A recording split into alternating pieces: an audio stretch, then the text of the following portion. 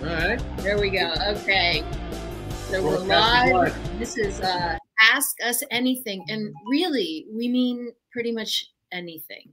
So, you know, you can't make me blush. And I've never seen Bas blush. So you can ask the weirdest questions ever. yeah. Plus, if I don't want to answer, I say, eh. Or you, or you give it to me. or I give it to you. Yeah, you're, yeah, you're good with everything. Anything so we got a couple to start with. Tell me which you want yeah. to start with. So, um, one of the first questions I got this week, and I wanted to save it for today, is something that you said, Bas, which is that we lose lung capacity as we age. So, can you talk? The person said, like, can Bas talk about that a little bit more?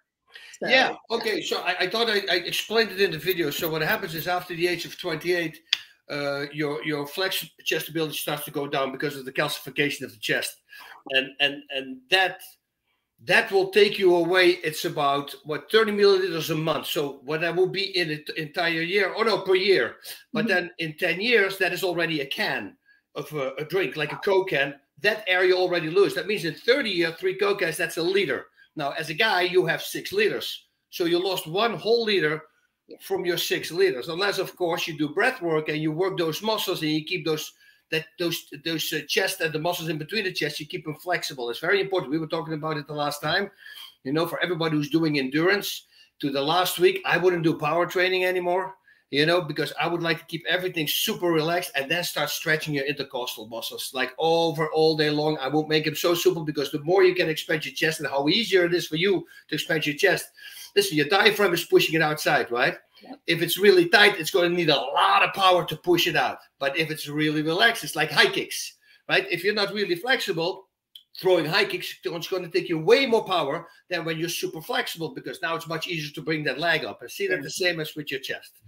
Uh, I like that. I've never thought of it that way. I just I just came up with that. I, I go like, hey, that's a good one. Yeah, so there yeah. you go.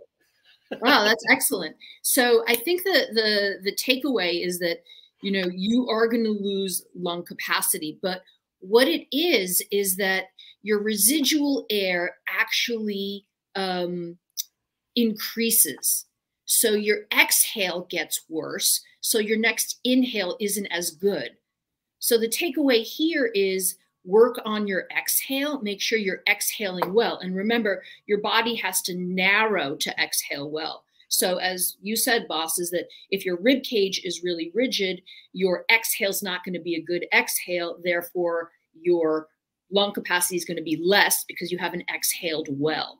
And you'll see this. You'll see, especially guys walk around, they've got barreled chests and like they look really strong. But every time I see someone with a barreled chest, all I can think about is, oh my gosh, so much residual air in that body that they're probably breathing faster than they should be because the breaths are small.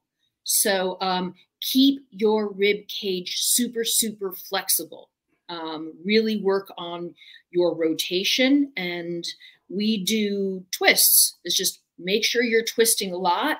Make sure you're twisting all day long wherever you are. But there you go. Is make sure this is really super flexible. We do um, an intercostal stretch this way. We do twists this way. Make sure when you twist, you're not twisting at the waist. You're actually twisting from your rib cage up.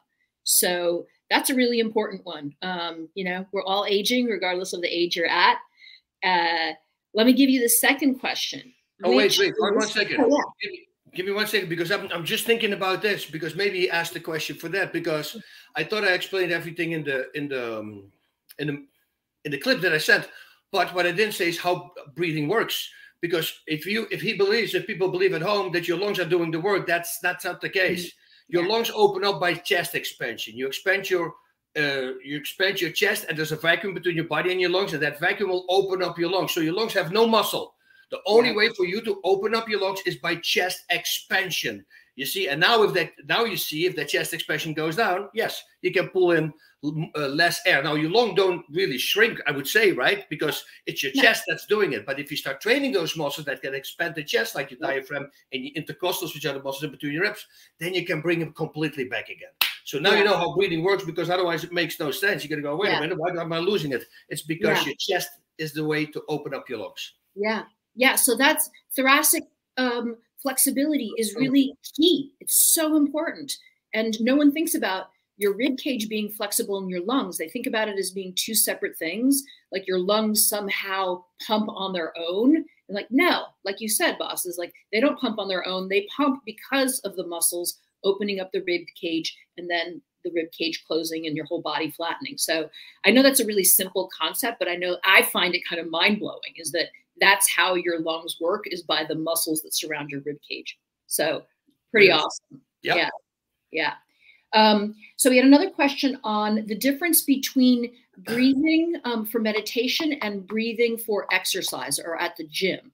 You want to try that one out? Yeah. So first of all, yeah, the goals are different, right? Uh, you, if you want to relax, you relax. If for training, well, you you want to work out there, you want to get better stamina, you want to make train those all those muscles, you want to make them um, how you say? So, so they memorize everything. How efficient? You want to make your muscles efficient because that's literally the reason why your stamina increases. If you work a muscle over and over again, it becomes more efficient.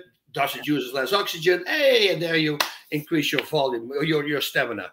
So the two things are completely different. One is to calm down, and the other one is actually to bring your heart rate up. But the breathing optical of, of, diaphragmatic breathing is of course always good you know deep in and out. But the more you expand your air like if i'm on a bag of course i'm going to start breathing faster. Now i used to breathe really freaking fast because i was breathing wrong. I was breathing like this. That i don't have anymore. So now you come out and even like meditation is like most of the time when you want to meditate you want to have an inhale let's say a four second inhale and then a six or eight second exhale you want to slow down on the exhale. If you can start vibrating with it, this is something I like to do.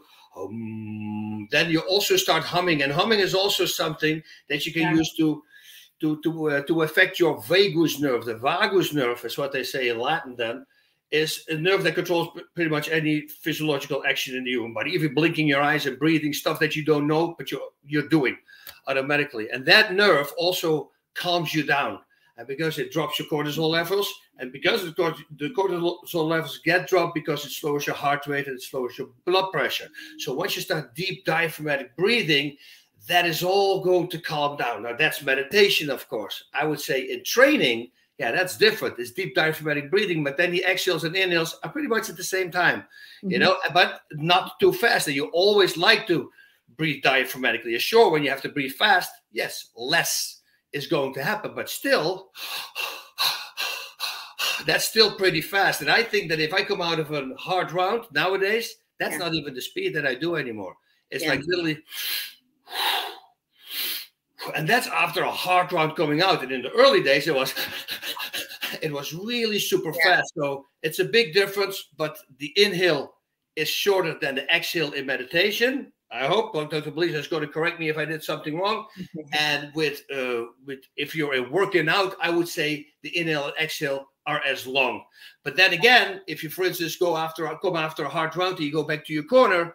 It's really good for you to breathe in and a little bit slower out, so to keep that air a little bit more in the lungs. You see, so we actually did the whole course. We did breathing for warriors. That's a course we did, and we're talking about that. It's targeted breathing. And that's breathing at any moment into the fight.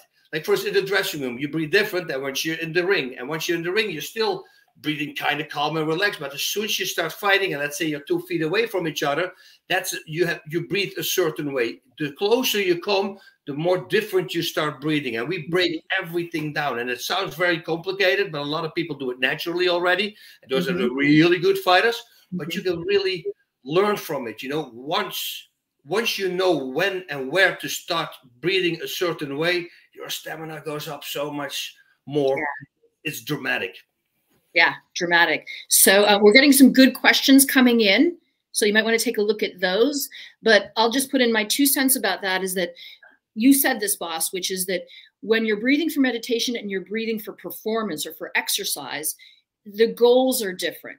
So when you're breathing for meditation, you are trying to get into a trance state where your breathing is as slow and deep as possible. And the goal is to get your brain waves to get into that state of calmness that is trancy. Um, and that is part of recovery. When you get there, your body calms down, your cortisol comes down, your whole body gets to go into healing. Now, when you are working out to exercise or uh, to train, to perform, you are then using breathing muscles that you have made strong. So you've worked out your breathing muscles so that they're strong, 10 pounds of breathing muscle. Um, so that's completely different. There, the training that you've done um, outside the ring is what's important. So you've worked on your breathing muscles so that they don't tire, so that they don't give you, you know, that feeling of being heavy in your body is when all the blood is starting to shunt away from your arms and legs and go to your heart and your breathing muscles. Your breathing muscles are strong, that's not going to happen as quickly. So when you're working out, um, you are using the breath um, as a mechanical thing that is paired with a movement, or you're working out your breathing muscles separately so that fatigue is delayed it's called in in all the literature. So um two different reasons with two different results uh, but it's a really good question. Yeah okay you see anything you like in the questions oh uh are there exercises to strengthen the exhale muscles i see that joshua raff he was talking about it. Yes, I actually just put a video out. I put two caps on a note to trainer, and I was showing that. But Dr. Belisa has a really cool, and I like even better this you're holding two balloons, you know, and you just start breathing up, blowing up the balloon, and then while you while this one is full, you push it away. You start blowing this one up, and you let this one go again. Don't let it loose because it's going to fly away. And there's guys who did what is the record now? How many balloons like a Jake? Uh, we did um well the exhale pulsations was Jake Ellenberger at 750. The 750 exhale pulsations, guys. I know. I think he could I think he's beat it now as well. I think we're over a thousand, but that's the last time we did it, you know, in an Olympic setting. The balloons uh 150 in half an hour was the last time we did a really long session. However, we did a 10 minute one and there was 50 balloons in 10 minutes. Now, if you guys want to try this uh, exercise with the balloons and the exhale muscles, please, please, please make sure that you are breathing correctly with the right muscles before you start blowing up balloons, because otherwise you're going to be working out muscles that aren't your primary breathing muscles. So once you start doing this, that's you know you're not working out the right muscles and, and you're just actually overworking muscles that are um, not relevant or already kind of pissed off. So when you're doing the balloons, and again, Bas said it, I like to have two balloons. You're doing rock and roll where you're inhaling and you're expanding forwards. And when you exhale, you squeeze. It's kind of like doing cat cow in yoga inhale and exhale. And when you exhale, you obviously blow into the balloon and you're using your core to squeeze.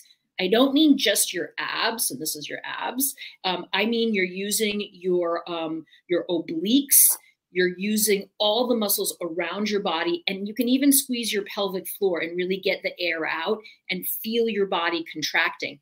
You blow up one balloon, you switch to the other one, you let the air out of this one, and that way you can continue. So again, the number, if you're good at this, I mean, be gentle, is that you have to be good at your form when you do this is that um, get to the point where you can do this for 10 minutes and count how many balloons you can do. And then, you know, get your buddies together and uh, compete because that always makes things um, a lot more fun and you do a lot better. I, I was just thinking about uh, if you have one of those rides when you go into like a freaking, you know, those rides, they have those things that you can push down on you, right? Yeah. Yeah. So now you can't raise your shoulders. That would be yeah. a great instrument to have when you do the balloons. Or think about like the, the old school calf machines. You remember those? Oh yes, also. Yeah. Yeah. There. Yeah, you put them on, and that way you you feel when you're using your shoulders. Yeah. Um, I know that uh, Danny Massa, who is um, a big fan, he's on Survivor right now, uh, actually takes kettlebells, not super heavy ones. He holds them at his side. Yep. He puts the uh, O2 trainer in, and he actually works the O2 trainer while holding kettlebells to keep his shoulders down, which is super cool. Yeah. yeah, you showed that to a Joey Diaz and myself. Remember all the way back at my gym a long time ago. oh ago. my gosh, yeah. Yeah, yeah, that was crazy. Ago. So thinking crazy Joey, he's so awesome, right? Oh, he's so awesome. Yeah, yeah. we should have him on. We should yes. have him on. Um, okay, let's pick another question. Um, let me see what we got. Save this live video after airing. Yes, we're going to save this live video after airing. Okay, Bas, I'm with the Franklin Jiu-Jitsu Club. I want to ask you for your help in advertising the show. Oh, here comes a boom. Something different. I will come talk to Ben. Okay, Jason Remy just uh, sent an email to Jack at basrutten.com and he will forward it to me. Jack at basrutten.com. Do you see anything, Doc? Yeah.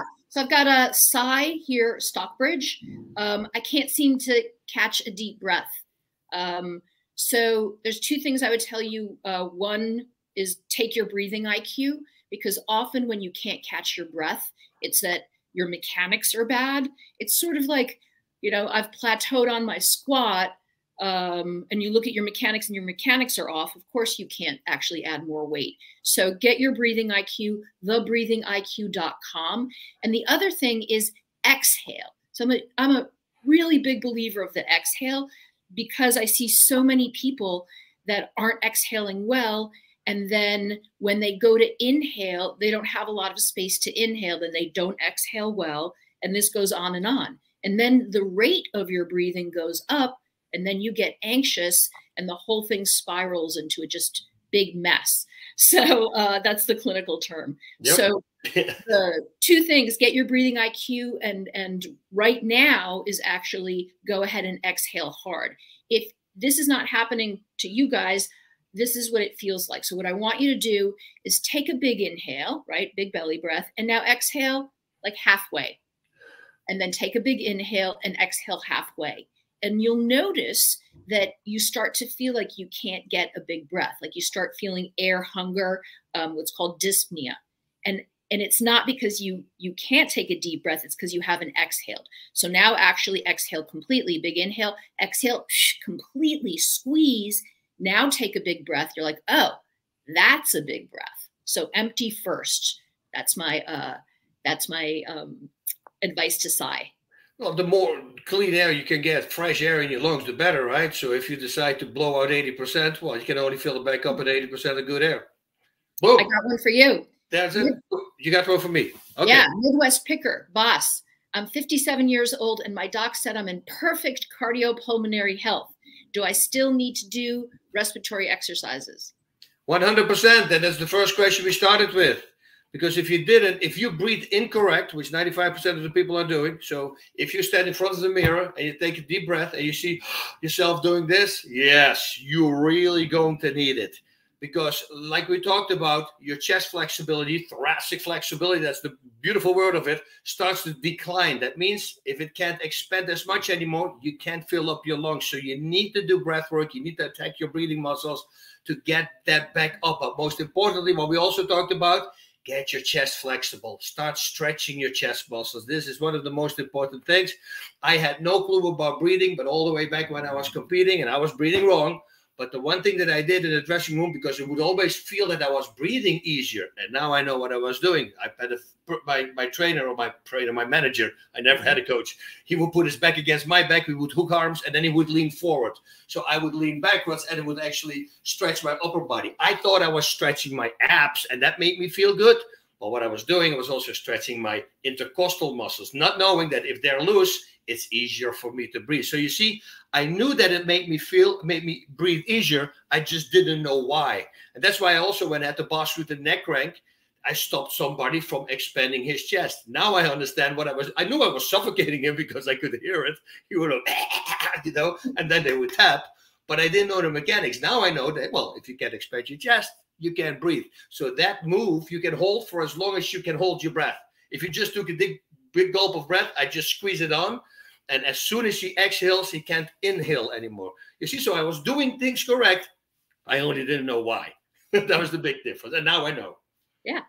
So actually, I want to go back to Midwest Picker. Um, is that I am really skeptical when a doc tells you that you're in perfect health um, because that's probably not really true. It's probably perfect as per um, their tests given your age. So you're probably within the normal range. And to me, within normal is not good enough because, in general, if you look at what normal is nowadays, it's actually pretty shitty. So, um, your doc saying you're you're in perfect health I would really want to know what those numbers are that you're perfect. And are you perfect for 57? Because you may want to be better than what's expected for a 57 year old. So um, I would actually get your numbers. And the numbers that you want to look at, you want to look at your FVC. That's your um, vital lung capacity. Um, FVC. You want to look at FEV1.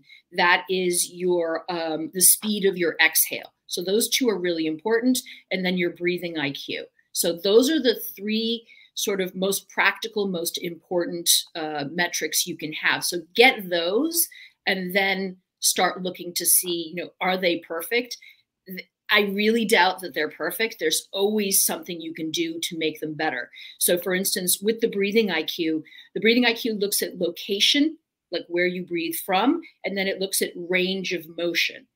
And you can be an A at 100 range of motion. And again, when you do the breathing IQ, this will make sense.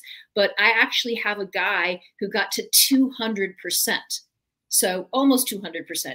So meaning that he's double what an A is, obviously, but he's able to expand tremendously and then narrow tremendously. So you can always get better. And if a doc tells you you're within normal range, you're good, get your numbers and and do a little studying because the probability that you're perfect um, is pretty low. There's always work you can do, especially around breathing, because we haven't been good about uh, educating people about breathing and aging um, until right now. well, if, if we we were in this thing, you, you were you're working with seals, right? Yeah.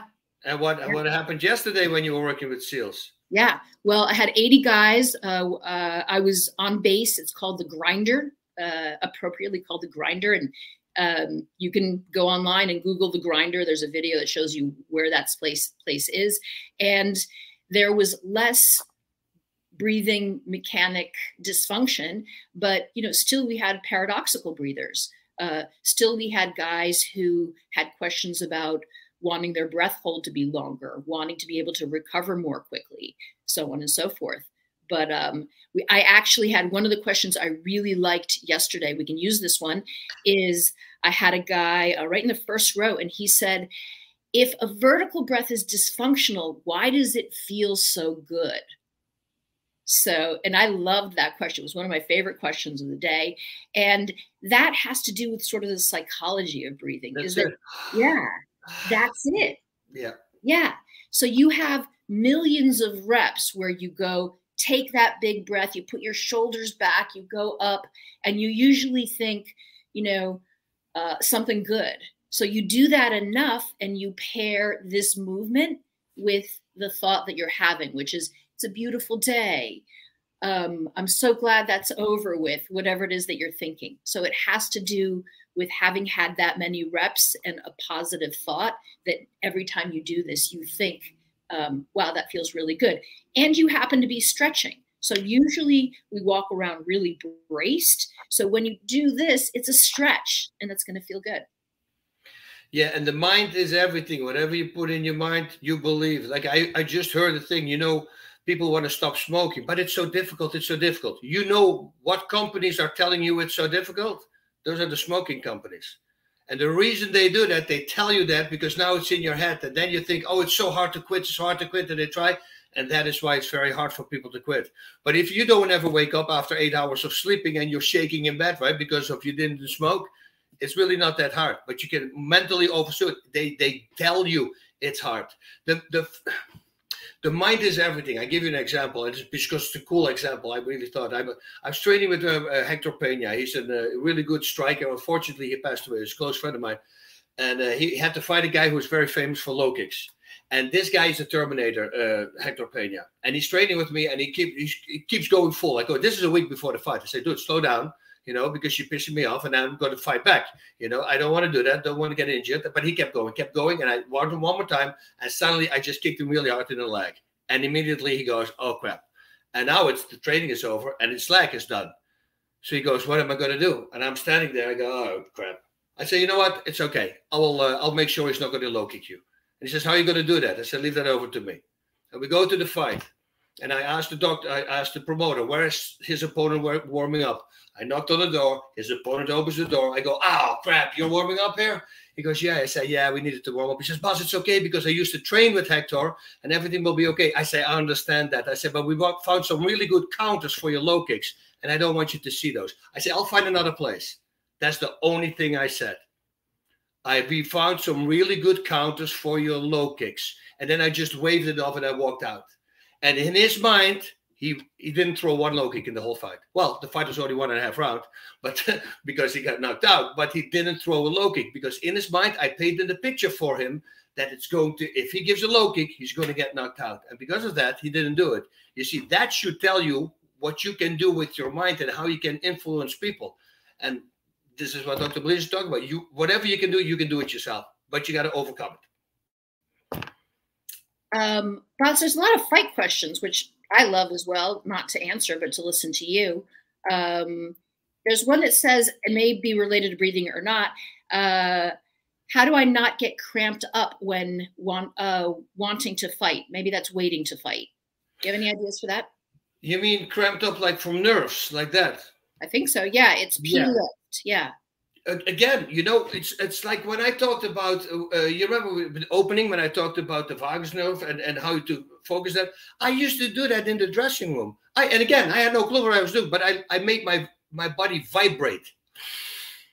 In and then, and if you do a low low hum, First of all, you feel your stomach vibrate and it feels good in the stomach. That's why I was doing it. What I didn't know is that these long exhales and then humming and singing is also stimulating the vagus nerves. You see, so I was unknowingly doing something right. And that would always calm me down. And you can do that as well. And and in your mind, go over this. If your opponent, like a week before the fight, if you guys get thrown in a room and they lock the room and nobody can watch the fight, you guys fight. And after you fought, none of you are allowed to say who won. Would you care if you would lose? Now, I've never heard about a person say, "Yeah, I would care," because everybody says, "No, it could could have not been my day." Yeah, so that means that you're not fighting for yourself. That means that you're fighting to please the people. And once you start doing that, and your family members and everybody is there, yeah, that will get you very nervous, you know, because if you tell told everybody that you're going to kick his ass and he's not good, well, now you better do what you said. You see, so don't put that pressure on you. You know, forget about people. They will always complain. It doesn't matter if you do right or wrong. It doesn't matter. There's always people who annoy you. You know, and we always pick the one or two out and we think that's the majority, but it's not. It's never. It's a very small percentage. So if you truly can master, and this is the one thing that I could master, I, I wish I could master it with everything else because it will help me with everything else as well. But the fighting, I just didn't give a crap about what everybody would tell. And, and because of that, I had zero pressure and I was just fighting you know? And then of course it depends how many fights you had. If you're just into your th- third fourth fight yeah you still might have some nerves but that also will go away. Don't put too much pressure on yourself because the more you put on the worse it's going to be. And if you have really problems with pressure i would not even tell anybody in your town that you're going to fight and fight mm-hmm. out of state. And don't tell anybody. And then if you win you come back and you can say hey i just want to fight. And if you lose nobody knows so there's way less pressure try that I love that. I think you could probably have that as a metaphor to other things as well. Just translate it to the rest of your life.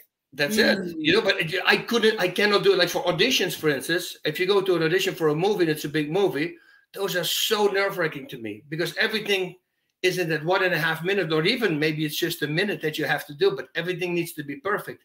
And I wish that I could completely do what I was doing in fighting, but somehow, then again, I didn't do as many uh, auditions. So it's not like fighting. I did a lot, you know. So you get used to it as well. So maybe I should simply do more auditions. okay, so um, we have uh, two minutes left. If you have asked a question and we haven't gotten to it, just put it on one of our Facebook pages. Um, bosses, mine, breathing for warriors. If we didn't get to your question. Um, and we will be back doing this again sometime soon. We'll let you know about it um, some really nice questions in here today. Bas, it was great seeing you. And uh, we're going to sign off for today. Do we get some music for leaving? Music? I don't know. Maybe? I don't know if we've got that organized yet. All right. Thanks for your questions. Thanks for coming on. And we'll see you soon. I heard some music.